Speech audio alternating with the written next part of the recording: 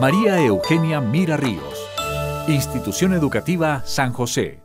Itagüí, Antioquia. Vivamos la excelencia educativa. La rectora María Eugenia lleva siete años liderando un proyecto de excelencia educativa dirigido al servicio social y a la profesionalización de sus egresadas, sustentado en una buena planeación estratégica, acompañamiento personalizado a estudiantes, implementación de proyectos STEM, elaboración periódica de informes académicos, resolución pacífica de conflictos y, entre otras cosas, prevención de riesgos físicos, psicológicos y sociales de toda la comunidad escolar.